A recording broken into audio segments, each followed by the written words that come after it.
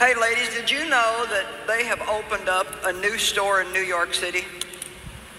Anybody heard about the new store in New York City? It's called the Husband Store.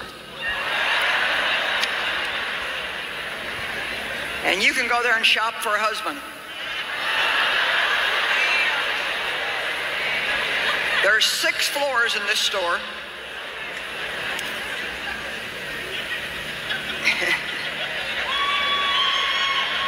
You can only visit each floor one time, though. And each floor you go up, the value increases. You may choose any item from any particular floor, but you cannot, you can go up a floor, but you cannot go back down. So there was a woman who went to the husband store to find herself a husband. On the first floor, the sign on the door read, These men have jobs.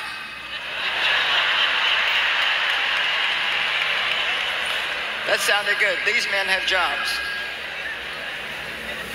Floor two says, These men have jobs and love kids. Floor number three said, These men have jobs, love kids, and are extremely good looking. Wow, she thought, this is sounding pretty good, but I'm compelled to go on to the next floor.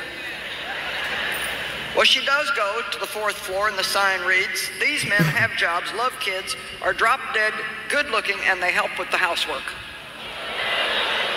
Oh, mercy me, she said. I can hardly stand it. Still, she said, I've got to go on. She went to the fifth floor. These men have jobs, love kids, are drop dead gorgeous, help with the housework, and have a very strong romantic streak.